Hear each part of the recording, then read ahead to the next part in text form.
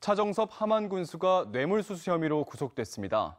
사업 편의를 대가로 지역 상공인에게 5천만 원을 받은 혐의인데 지금까지 군수와 비서실장 등 모두 7명이 구속되면서 파장이 커지고 있습니다. 신은정 기자입니다.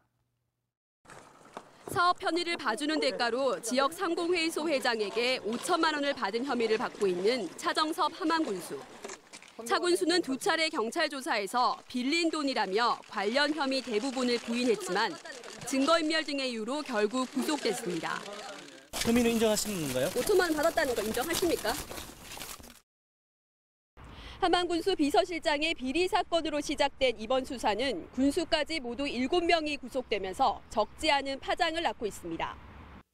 군수와 비서실장, 상공회의소 회장까지 지역 정재계 인사들이 얽히고 설킨 전형적인 토호 세력의 비리로 밝혀지자 공직사에도 크게 술렁이고 있습니다.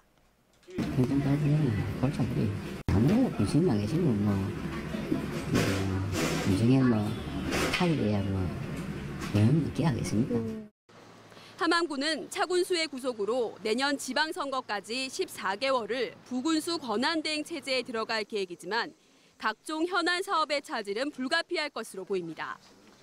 한편 경찰은 구속된 7명 가운데 6명이 차군수 선거 캠프 안팎에서 활동한 만큼 지난 2014 지방선거의 선거자금으로까지 수사를 확대할 방침입니다.